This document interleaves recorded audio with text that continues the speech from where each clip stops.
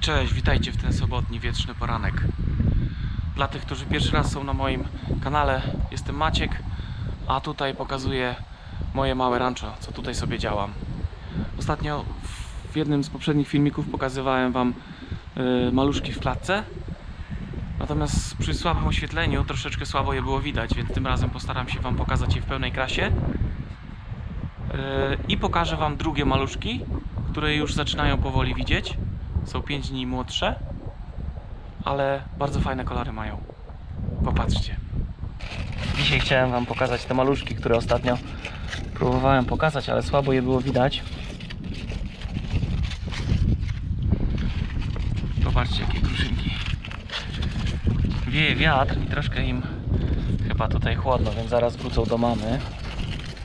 Ale klatka jest sprzątana, więc chwileczkę musiałem je oddzielić. Śliczne są. Szaraczki i szynszyle.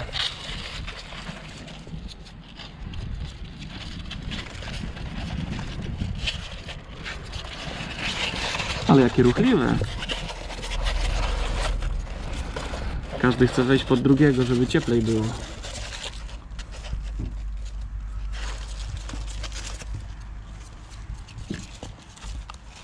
Będziemy obserwować, jak będą rosły. Spokojnie, nie, przejm- nie obawiajcie się. Wszystko Wam pokażę, co i jak.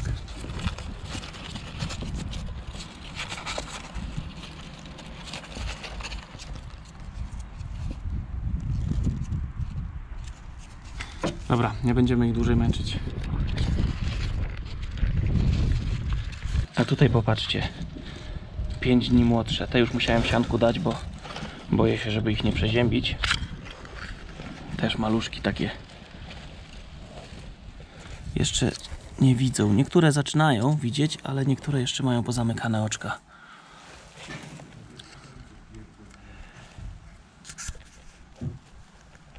Tu jest ładny burasek. Tutaj reszta są szynszylowe. Dzięki kochani za te kilka minut. Jeśli Wam się podobało, kliknijcie subskrypcję. Was to nic nie kosztuje, a mi pozwala zwiększać zasięgi i, i pokazywać się coraz większej e, liczbie osób. Więc jak Wam się podobało, klikamy subskrypcję, łapka w górę, dzwoneczek. Będziecie na bieżąco poinformowani, a mi pozwoli to e, dotrzeć do większej e, rzeszy ludzi. Dziękuję, cześć.